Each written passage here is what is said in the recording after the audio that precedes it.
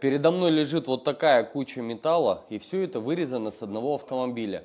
Примерно где-то месяц назад мы взяли в ремонт Mitsubishi Pajero Sport. А, скажу вам так, спустя месяц это один из самых сложных автомобилей, которые нам пришлось восстанавливать.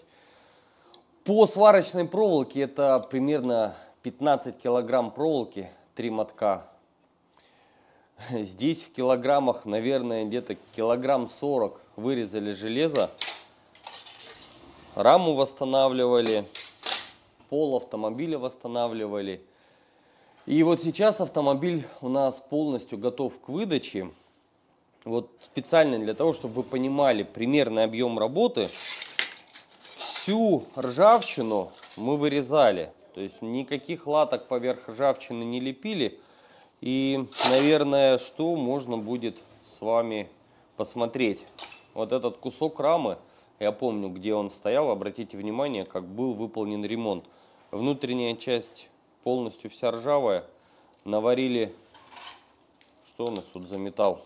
Тройка, если не четверка, наварили куски металла, причем просто на сопли прилепили.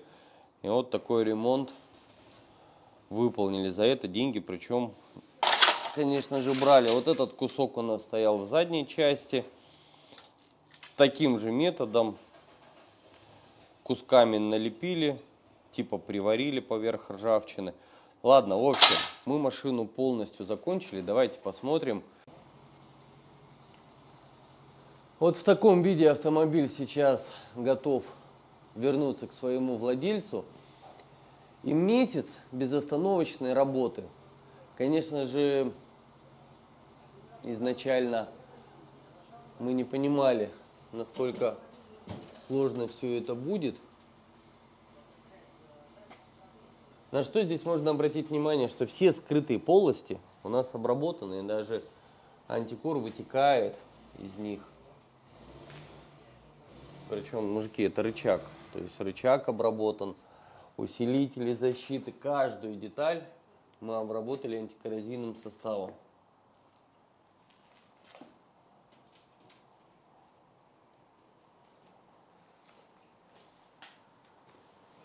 А многие из вас думали, что это труп.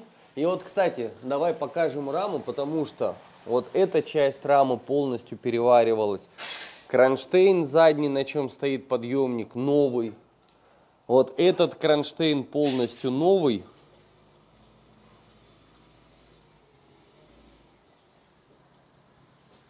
В передней части автомобиля все отсутствовало.